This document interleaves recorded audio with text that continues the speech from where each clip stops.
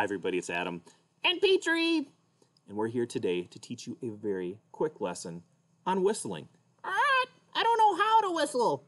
I know, some kids don't know how to either yet, and that's okay.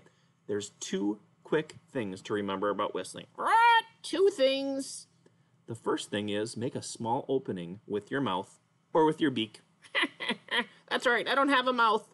I know, you just have a beak.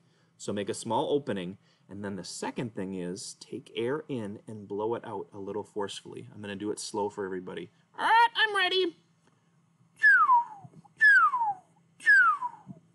So I took air in, made a small opening with my mouth, and blew it out.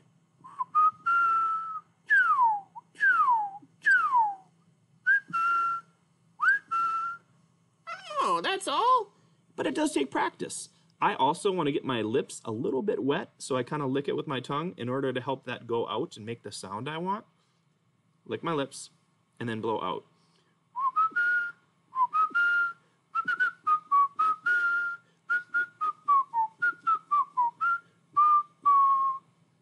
Okay. Thanks for watching how to whistle today. Enjoy your practice.